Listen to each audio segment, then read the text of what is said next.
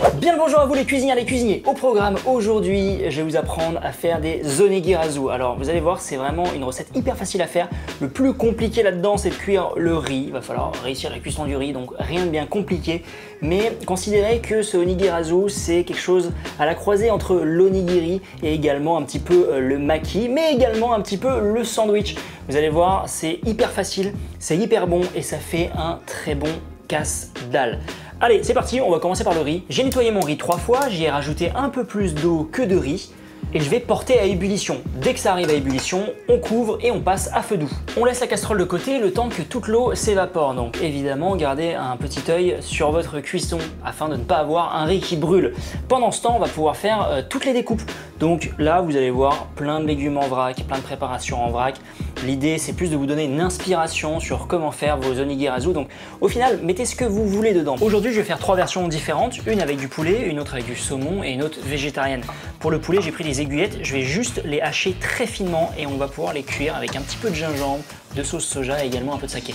Tout comme pour réaliser des maquis, prenez une feuille de nori sur laquelle on va pouvoir mettre une partie du riz. Formez un rond, rajoutez votre garniture et par-dessus on remettra un rond de riz. Ça ressemble grosso modo un petit peu à un burger. Enfin, on n'a plus qu'à rabattre chaque bord vers le centre. On emballe le tout dans du cellophane ou bien dans un B-wrap et on le laisse reposer une quinze vingtaine de minutes.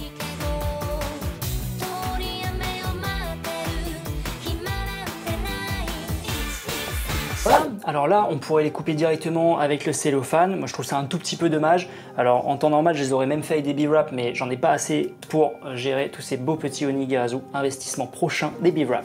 Donc, ce qu'on va faire, c'est on va simplement enlever le cellophane et les couper en deux.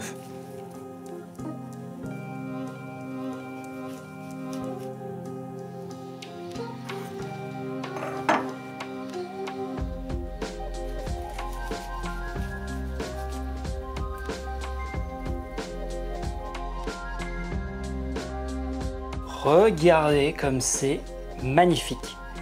Alors, moi déjà j'aimerais bien savoir lequel vous plaît le plus. Donc on avait la petite préparation avec un, petit peu de poulet, ici saumon avocat, et là totalement végétarien qui est un tout petit peu plus dodu d'ailleurs. Donc je vous attends en commentaire.